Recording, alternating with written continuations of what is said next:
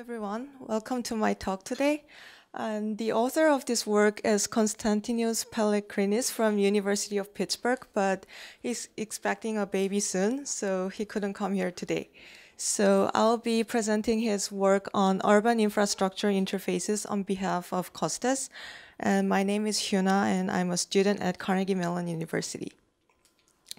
So here's the roadmap of today's talk. And let's start with the problem definition. Um, the United Nations predicted that by year 2050, more than 70% of the population will be living in the cities. So more people in the city means more cars on the streets, and more cars on the streets means higher demand for the parking spaces.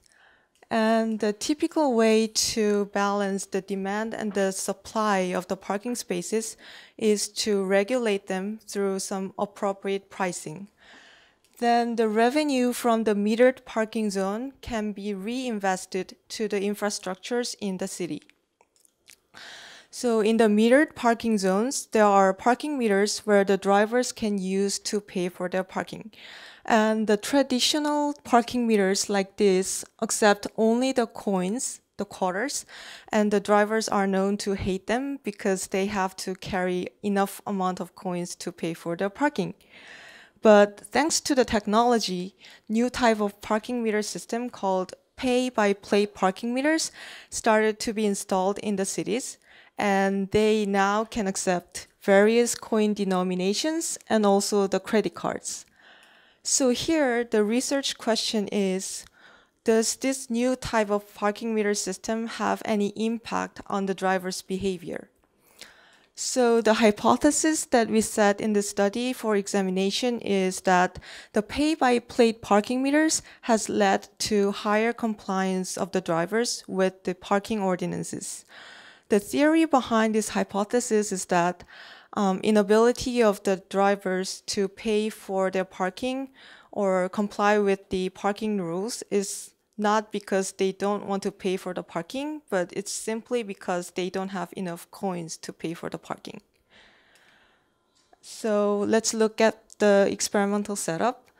To examine our hypothesis, we utilized two sources of information.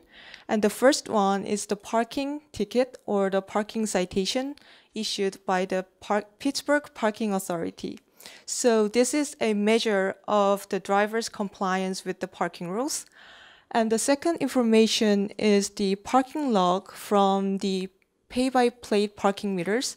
And we use this information to further analyze the behavior of the drivers.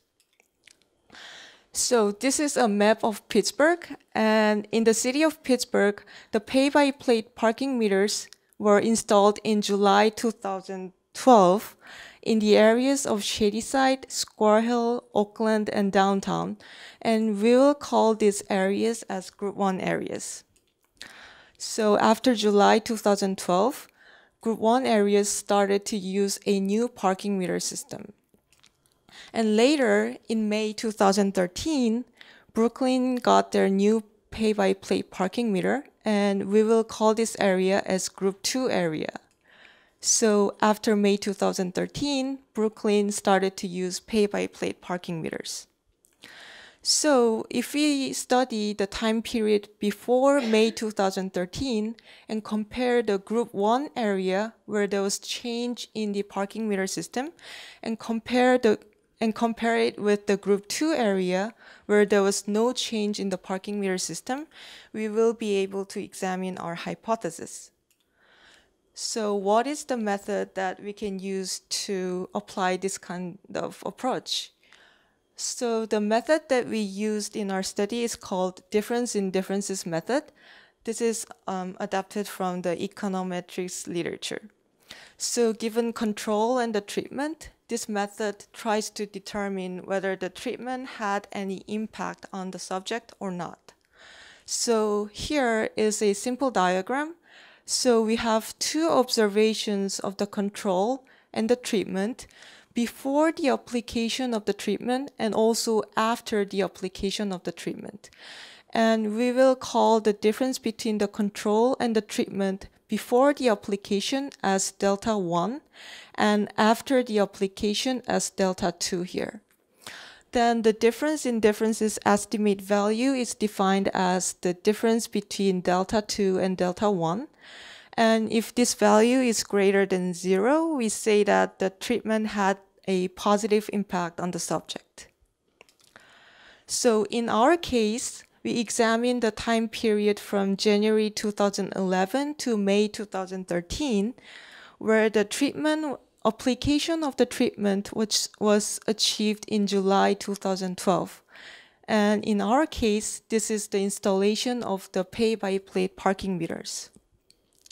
So we have January 2011 to July 2012 as the pre-treatment time period and July 2012 to May 2013 as the post-treatment time period. And we can use the group 1 area as the treatment group because they had change in the parking meter system. And the group 2 area serves as some control group because there was no change in the parking meter system. Then the subject of our interest is the parking citation or the parking tickets issued from the Pittsburgh Parking Authority, which is a direct measure of the compliance of the drivers with the parking rules. So let's look at the result. So here is a table of the difference in differences estimate values for the areas of group 1. So we see that all of the values are negative. So this means that the treatment had a negative impact on the subject. So in other words, installation of the pay-by-plate parking meters has led to reduction in the parking citations in the Pittsburgh. So it means that it actually led to higher compliance of the drivers with the parking rules. And we see that in the Oakland area, the impact was the greatest. And what's interesting here is that Oakland is where the parking rate is the highest. So we are assuming that if there if the parking rate is high, it means more coins are required for the drivers to pay for their parking, meaning that there's higher probability that the drivers will not have enough coins to pay for their parking. Thus, they have to violate the parking rules. But after installation of the parking meters, the drivers were able to avoid this kind of unwanted situation of running out of the coins, so they were able to comply with the parking rules much better. So as conclusion in this study, we formulated a hypothesis that installation of pay-by-plate parking meters has led to higher compliance with the parking rules. And our observation actually supported our hypothesis and told us that the new type of parking meters has had a positive impact on the driver's behavior. So we showed an evidence that effective infrastructures in the cities can actually lead to positive change in the user's behavior. So we are hoping that designing of some effective infrastructures gains some more attention from the stakeholders involved. Thank you for listening to my talk, and I will be happy to answer some questions that I will be able to answer, but for clearer answers, please contact the author of this work. Thank you.